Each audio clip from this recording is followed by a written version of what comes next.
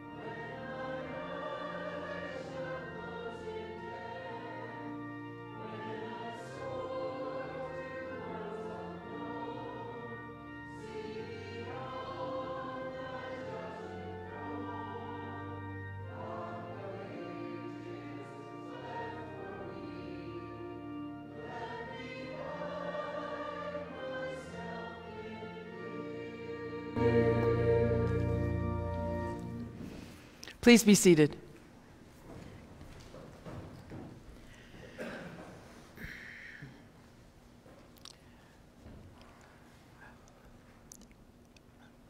Immediately following this service, I felt it was um, important over the last few days to pray for people. So I will be doing that. I'm uh, so touched by the power of prayer um, that this church engages in. And so we have to be active in it. Prayer is active, it's not a passive thing. And so, as we prepare our hearts, let us pray together the prayer of awareness. By the power of your Spirit, may your strength enable our strength and your word shape our words. Enable us to love you, serve you, and follow you so that our lives will demonstrate the redeeming love of Jesus, who is the way, the truth, and the life. Amen.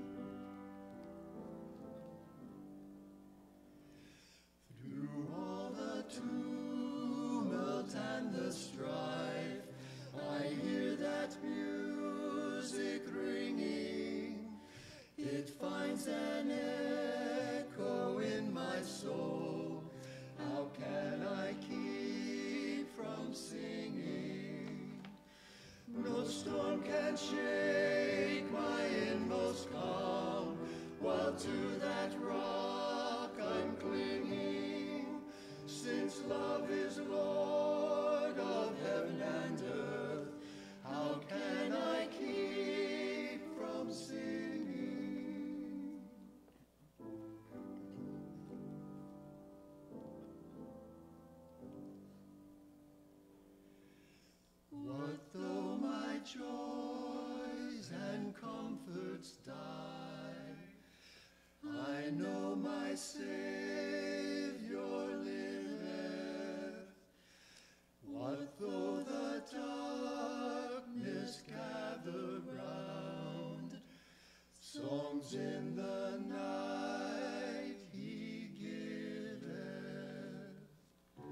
No storm can shake my inmost calm,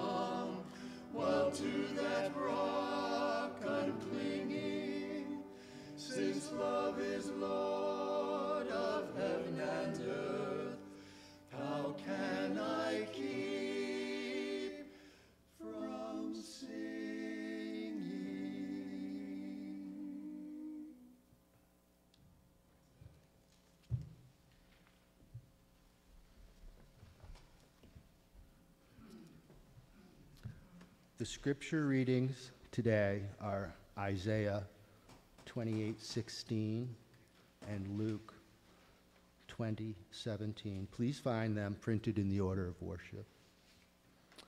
Isaiah 20:16.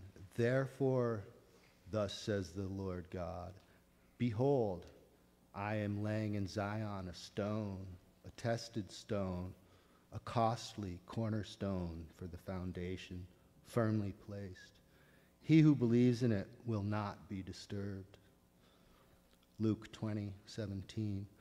But Jesus looked at them and said, What then is this that is written? The stone which the builders rejected, this became the chief cornerstone.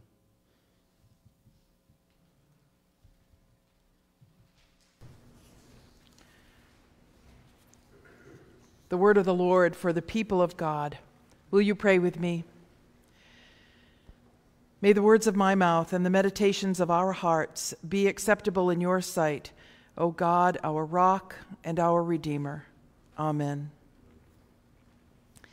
So, two brief scriptures today, and we'll get to them in a moment. But I was thinking about how we New Englanders love our seasons, don't we? We really do. We sort of lord that over everybody else in the nation. Yeah, we have seasons. And I'm sure, you know, as we course through a year, we kind of mark our days by weather. We're always talking about the weather. I think news, the weather is news to us. And I'm sure we have among us the crisp, cold air, deep snow lover people. And I'm sure we have some of the wonderful budding spring flower and garden lovers. And I'm quite sure we have the hot summer beach lovers. And then, of course, many of us are fall cold mornings to warm afternoons filled with color lovers. So you know who you are. I, for one, kind of struggle with the thought of leaving on vacation during any of these seasons. I don't know, there's something that draws me to each season, and I wonder why, why does anyone leave, you know, during these beautiful seasons? A colleague of mine who was from Texas used to say that we own the fall. Nobody has colors like we do, and it's true. But even in the winter season, I marvel at how strong the sun is and that we are. Do you know that we wear more sunglasses than any place except for Seattle?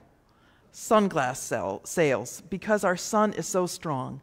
And I'm amazed at the 400 plus snowplows in the state of Connecticut that somehow managed to clear our streets immediately after a snowfall like it never happened. Yeah, we have some snowbanks, and the sun melts those snowbanks like from underneath. It's amazing to me. And then I think, why leave in spring? I mean, spring, the beautiful rains of spring wash our land and they make way for gardens and colors and fruitfulness. And then summer, draws us to beaches and refreshes us with lemonade, why leave? I mean, honestly, it's a puzzlement to me. And having just spent a week in Vermont, realizing that the colors were so muted, the colors here were far more vibrant. People kept asking, Oh, how are the colors in Vermont? Not as nice as here. So, but here we are in October, and it's fitting that we take the next four Sundays, today and three Sundays, to talk about our seasons. And we begin with fall. And you might ask, what does fall or any season have to do with the Bible? Well, the Bible has a lot to say about seasons and cycles. And at least half the books of the Bible and at least 70 times seasons are mentioned. and it starts with Genesis chapter 8, verse 22, that says, As long as the earth remains, there will be springtime and harvest, cold and heat, winter and summer, day and night. There they are, four seasons mentioned in one verse. So there must be something we can learn here, and there is. The seasons form a cycle, right? Our seasons repeat. And so it's true in both our physical lives and our spiritual lives. Now, many of us, as I look around, are in the autumn of our lives. So we're enjoying and we can relate to the prelude that Rebecca so beautifully played that came from On Golden Pond about two people who are also in the autumn of their life. So let's start with fall. But I want to sort of do a different take on that word because if we go back to Genesis to the first fall, when Adam and Eve fell out of sync with God, lost their innocence, fell away from God's holiness and protection, and tried unsuccessfully to take their lives into their own hands. They fell all right, right into the enemy's hand. They fell. And that fall, actually an act of disobedience, brought shame and suffering and death into our world. Shame because they suddenly realized that they were naked. Suffering because now they would toil in the garden and childbearing would bring great pain. And death, when Adam and Eve's spirit died, experienced a death of separation from God, and then clearly in a human death through Adam's own sons when Cain killed Abel.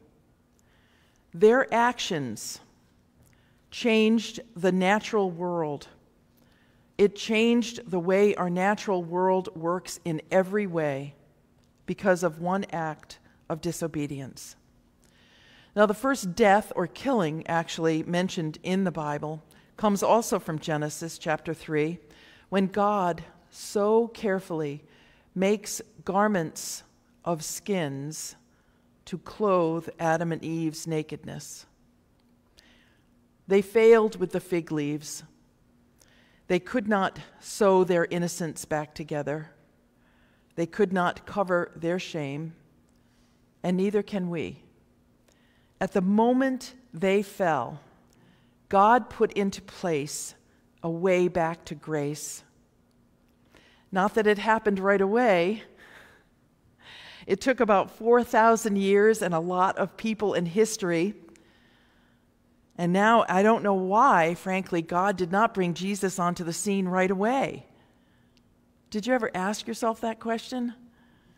Why didn't God bring Jesus onto the scene right away? Why did all of those events of the Old Testament have to take place?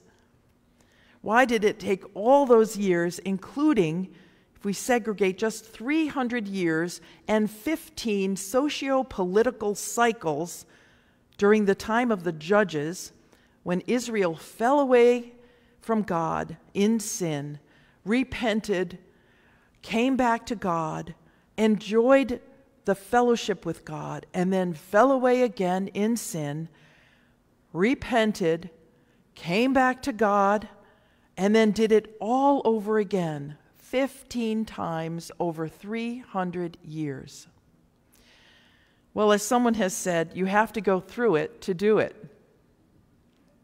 You have to go through it. The people of God thought they had it made, but they were victims of their own choices. And like them, we think we get it, and then we realize we don't get it at all. That is one of the cycles of our own spiritual lives. I think it's the very nature of our Christian walk to learn more, to repent more, to forgive more, to receive more forgiveness, and to come into a new and deeper understanding of God's love through Christ Jesus. The length, the depth, the width, and the height of the love of God in Jesus Christ. So the learning never really ends. And I think that's good news because we're not there. But it doesn't change the fact that because of disobedience towards Creator God, death and suffering entered into this world. But there is more good news. By the suffering, death, and resurrection of God's own Son, we have access to salvation. We are no longer condemned to live forever in a fallen world. But I say we have access to that salvation. We can have it, but it's not automatic. Believe it or not, it is not automatic. What will it take for that great salvation to be effective in our lives? When I look at that 4,000 year history, I asked, where was Christ for God's people? Where was the anointing? Where was grace during that torturous time? And if we look at that ancient history from Adam to Noah to Abraham to Moses and on down, we will see that Christ was there. I think it relates to our own lives when we are in difficulties, and many here are in difficult situations right now. Many for whom we will pray are in difficult circumstances. And so to them, we need to say, Christ is there. Paul, so many years later, was really getting it when he said, Brothers and sisters, I want you to know what happened to our ancestors who followed Moses. They were all under the cloud and all went through the sea. They were baptized as followers of Moses in the cloud and in the sea. They all ate the same spiritual food and all drank the same spiritual drink. They drank from that spiritual rock that followed them, and that rock was Christ. See, Christ was there throughout that tortured history. Throughout every falling away and coming back, Christ, the anointed one, was there. And yet, when Jesus came in the flesh, he was rejected. Jesus quoted Psalm 118 when he said, Did you never read in the scriptures?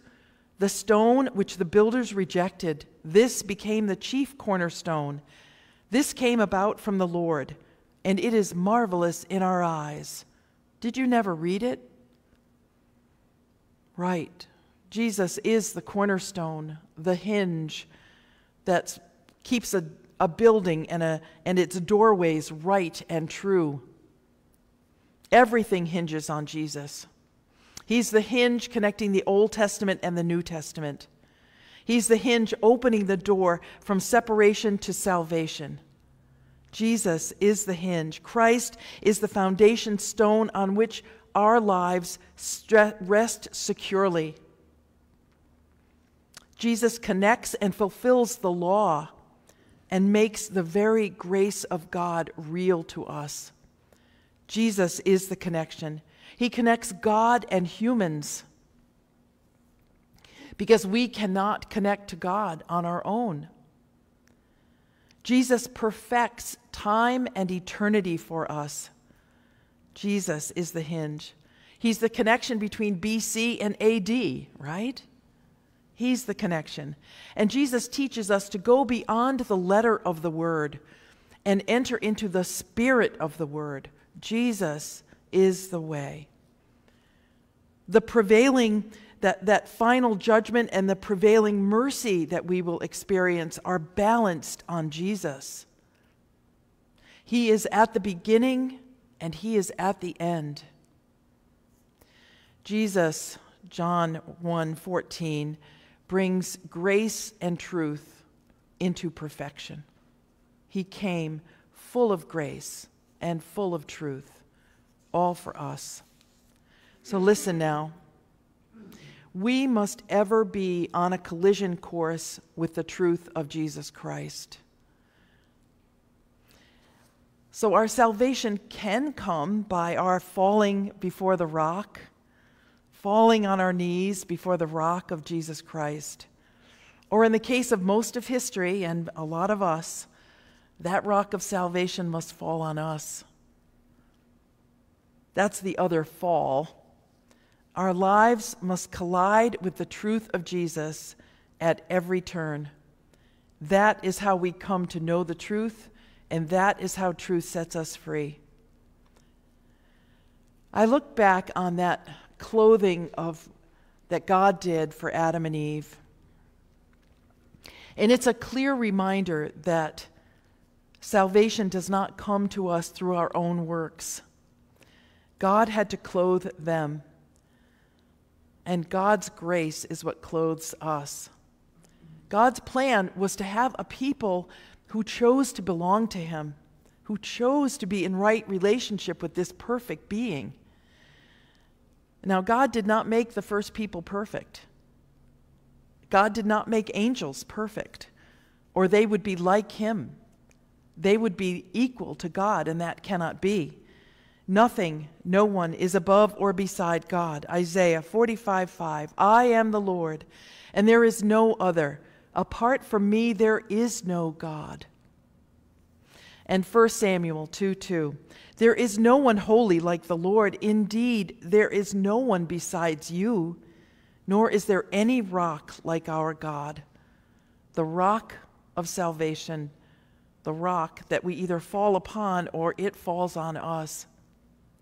So when the first people fell in disobedience, and every person thereafter, I've told the story many times of that radio announcer who asked do you remember your first lie? And I thought in a nanosecond of the first lie that I told, that powder sample that came in the mail that I put all over me. And then my mother looked at me and said, Where's that powder sample that came in the mail? And I said, I don't know. And then the announcer said, Did anyone teach you that? No. That came naturally to me to lie. I'm surprised I didn't blame my sister, because that goes right along with lying, blaming somebody else. Because of that one act of disobedience, and that they fell, and every person thereafter, God's desire was to clothe them in righteousness, and God's desire is to clothe all his people in righteousness. It's throughout the word. It's in Zechariah 3:5, Philippians 3:9, 2 Corinthians 5:21. We hear it over and over in Scripture. God's desire is to clothe us with love and righteousness. The first fall, that first fall, and its bad consequences, along with reconciliation, redemption of all things back to God through Jesus Christ, is the very heart of the message of the gospel. That is the gospel message that redemption and reconciliation come through Jesus Christ. He is the hinge opening the door. And all this is wrapped up and offers us the hope of eternity that the curse of that first fall, as a result in Genesis 3, will be forever reversed, removed, because sorrow, death, dying, and pain will be no longer. Bad memories, no longer tortured childhoods, no longer. All under the blood of Jesus Christ. That's a promise of God. And that, dear friends, is why we call it the good news. So if you have not fallen on the rock of Jesus Christ, ask for the rock to fall on you. It will not hurt. It will not hurt. Amen. If you take one of the sermons that are uh, printed for you, um, the cycle of Judges, that 300 year cycle is um, identified there for you. It's a nice graphic that shows you it consistently happens, but it doesn't have to happen because of Jesus. Hallelujah. Will you join me in singing My Hope is Built? It is number 537 in your hymnal. You may stand as you are able. Thank you.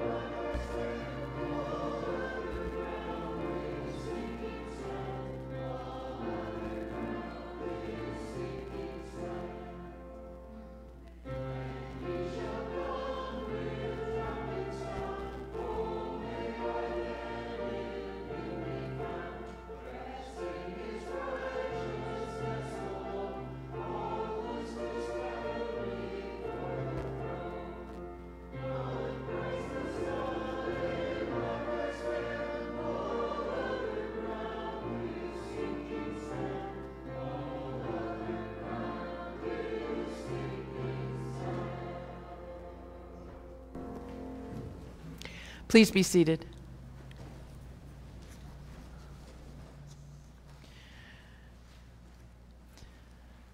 There is a prayer list in your bulletin, and um, it's actually a previous prayer list. We have some updates, and um, so we want to pray for some new people and always keep these in our prayers. Want to thank Bill Murphy for um, and, and offer a prayer of praise and thanksgiving. Bill uh, played with three colleagues yesterday at a um, uh, an event called Empty Bowls. Um, Bill, do you want to explain Empty Bowls?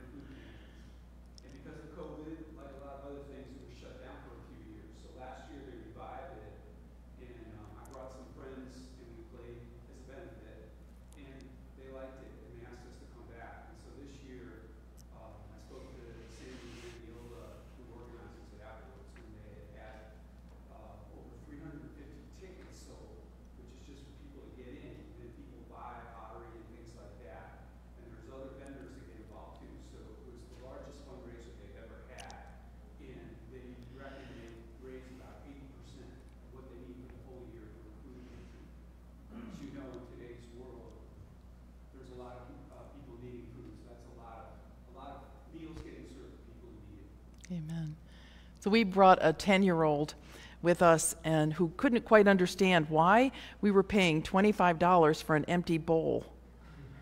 And then we, you take your empty bowl up to the little serving area and they fill your bowl with soup and you eat in fellowship with others. And um, after we finished, Kai looked on the bottom of his bowl and it said empty bowls. So he will always be reminded that there are people in the world whose bowls are empty. And so it was a wonderful event and um, just very, um, I'm sure Kai will never forget it, this little 10 year old. So thank you so much, Bill. I also want to pray a prayer of thanksgiving to Doug Dunn, who, uh, as most of you walked through those beautiful doors this morning, noticed that they were in much better shape than they have been in a few years. So thank you very much. And if you've, thank you.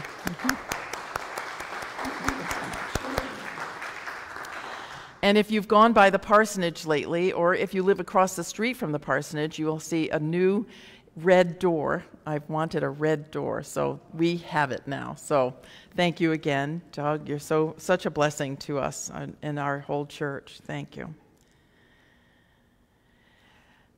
We want to continue our prayers for those who are right now in the hospital. That is uh, Sarah Holcomb. Sarah has been through probably nine or ten surgeries uh, in the last three and a half weeks uh, to right what's going wrong in her abdomen. And so please pray for her and for Tom. Uh, she has not lost hope. So um, she is hearing differently from God. She said to me the other day when we visited, we had a wonderful time early in the morning together, and she said, You know, I, I've always believed in God. I still believe in God, and I pray to God. But lying here in this hospital bed, what I've learned is to listen to God. That's good news. So she is hearing from the Lord, and she knows that her purpose goes far beyond painting a beautiful mural. Her purpose is what God is laying on her in the Spirit. And so please pray that for her. We pray for another friend of ours who uh, some of you may have met. She helped with the bottles and cans, um, Shelly Ellis uh, is also trying to recover from hernia surgery. They um, did that laparoscopically. She has these six openings in her abdomen that they tried to repair. And so please pray for Shelley. We want to pray and we will anoint Marilyn Vanty, who's going to have cataract surgery early tomorrow, no, late in the day, about 1.30 tomorrow afternoon. So she'll be a new person. Some of you have been through that before and you know what's involved, and so we want to pray for Marilyn. I'll be anointing you. We want to pray for those in Israel and Palestine, for those innocents who are uh, really, really suffering.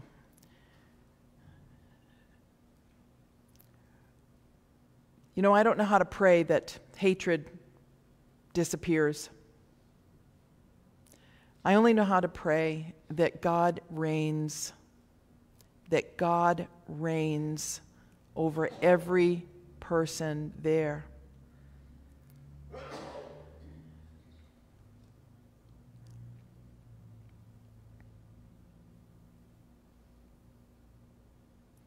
There are many more on the prayer list. Are there others for whom we may pray? Mandy?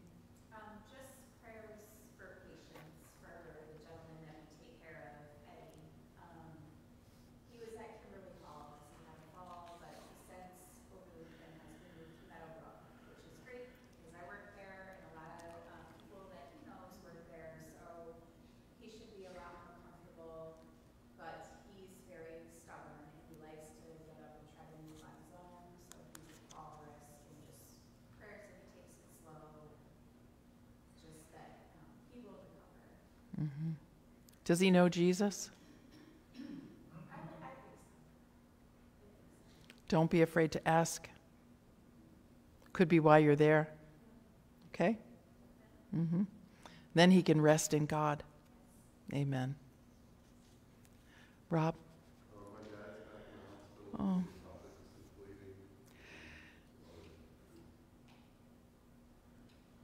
For Conrad, we'll pray.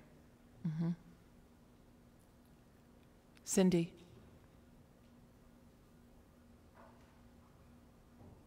I'm not going to get through this, so please forgive me. First, I need to praise and thank God, which I do every day. But I received an answered prayer because my hands are always open for His word. I stand before you now, no longer a diabetic.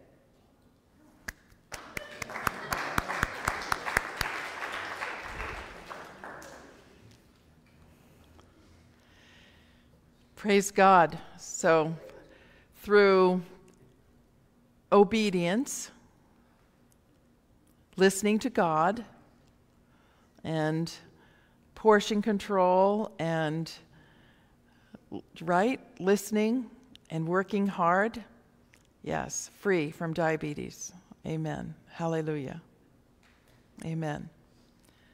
Ada May. We're all, we're all praying for living water here where we are. Amen. You mean um, like physically or spiritually? They do. They do. First the natural, then the spiritual, right? Let's pray. Holy God, we come to you because you are our rock. We fall on the rock of Jesus Christ, and in his name we bring these prayers before you. You know the end from the beginning. You were there in every struggle, in every cycle, in every sin. You were there to offer redemption, reconciliation, to offer yourself for our sin. And so, all of this, Lord, we bring before you. We bring our joys and the wonders of this church and what this church does to help this community and to foster love amongst the brethren and bring your love to those who do not yet know you, who have not fallen on the rock, but who will come. They haven't fallen on the rock yet. But we ask that you would draw them to yourself like a magnet. Draw them. That no one comes to the Father but through Jesus, and no one comes to Jesus but the Father draw him. And so may it be that way, Lord. Draw your people to yourself. Bring healing. Bring deliverance. Bring your joy, the joy unspeakable that you offer at your right hand. We seek your protection, Lord. We seek your reigning over Israel and Palestine and surrounding countries. We ask that you would reign, Lord God, and that everyone would bow their knee and confess with their tongue that Jesus is Lord, that they would know you, God, in a new and exciting way, that that would bring rest and peace for Eddie at Meadowbrook, for all those who are suffering right now, that they would know that you are there with them Savior, Lord, Master, Servant, Comforter, Teacher, Guide. Thank you, Father, for being so gracious to us, so full of grace and truth to take our lives from where we would leave them to where you would have us go. Take our lives, Lord, they are yours, bought with a price a price that cannot be measured. Thank you, Father. And now we pray the words of Jesus, saying, Our Father, who art in heaven, hallowed be thy name. Thy kingdom come, thy will be done, on earth as it is in heaven. Give us this day our daily bread, and forgive us our trespasses, as we forgive those who trespass against us and lead us not into temptation, but deliver us from evil. For thine is the kingdom and the power and the glory forever. Amen. Amen. Thank you. Our morning offering will now be received.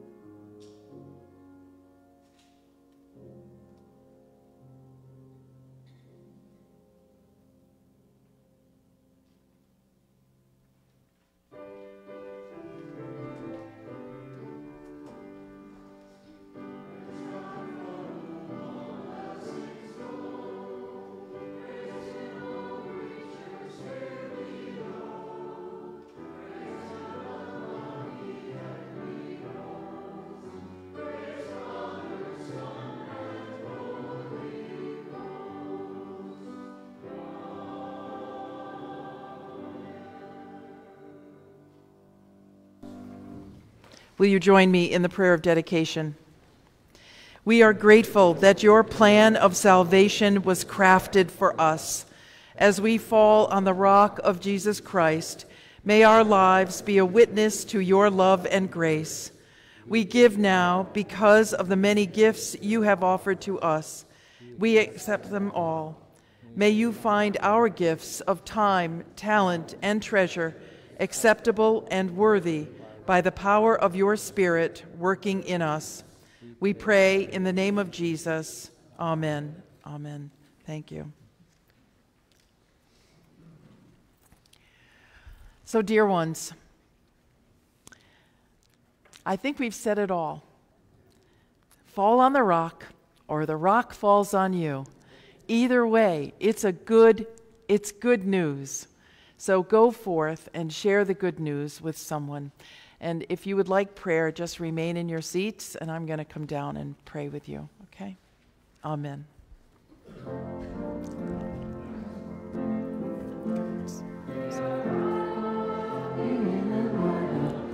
We are walking in the light of God. We are walking in the light.